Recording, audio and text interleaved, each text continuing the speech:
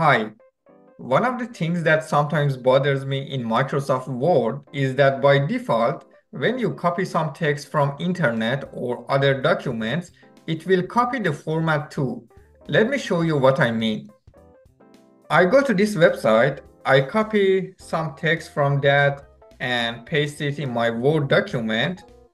As you see, the format is copied from the source too which I usually don't like this, especially if I already have some other text in my document, so I will have to make them all the same format.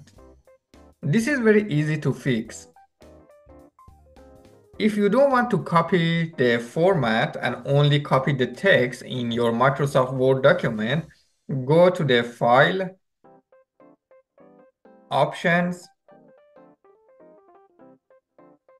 In the options window, go to advanced, scroll down.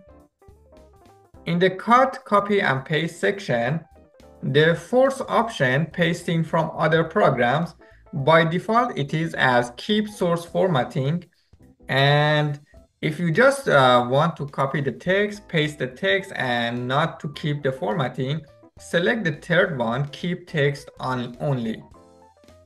There are other options too here. Uh, if you don't want to copy format from the other Word documents, for example, you can play around with them and change the settings too.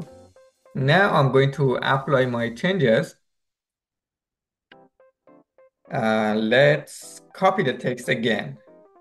I go to the website again, select my day, my text, copy it, and paste it in my Word document, as you see, this time only the text is pasted into my Word document and not the format.